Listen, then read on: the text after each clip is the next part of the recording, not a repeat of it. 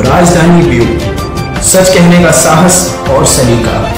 हम हैं आपकी आवाज़, राजधानी व्यू अचानक सफ़ाई व्यवस्था का निरीक्षण करने पहुँचे नपाध्यक्ष व स्वास्थ्य विभाग के सभापति।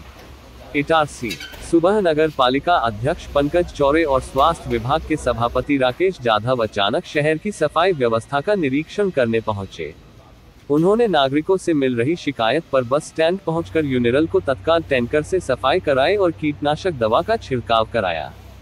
उन्होंने कहा कि जल्द ही इसकी रिपेयरिंग भी होगी, साथ ही रेलवे स्टेशन रोड पर बने यूनिरल की दीवार गिर गई, जिसे हटाकर नई दीवार बनने के निर्देश दिए। अध्यक्ष पंकज चौरे एवं सभापति राकेश जाधव ने बस स्टैंड पर बस संचालकों से कहा कि बस में बैठे यात्रियों से कहें कि कचरा स्टैंड पर न फेंके। कचरा फेंकने पर बस संचालक पर कार्यवाही की जाएगी। साथ ही कोई भी बस स्टैंड पर बसे नहीं धोएगा। ऐसा करते पाए जाने पर कार्यवाही की जाएगी। दोनों ने नगर पालिका के गैराज पहुंचकर निरीक्षण किया।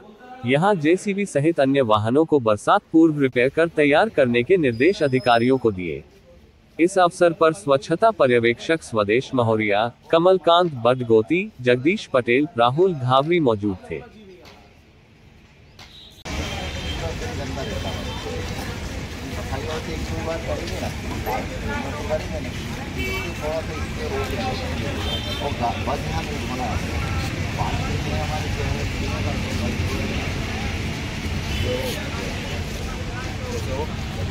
करें सब्सक्राइब करें बेल आइकन को टच करना ना भूलें और अंत में शेयर कीजिए।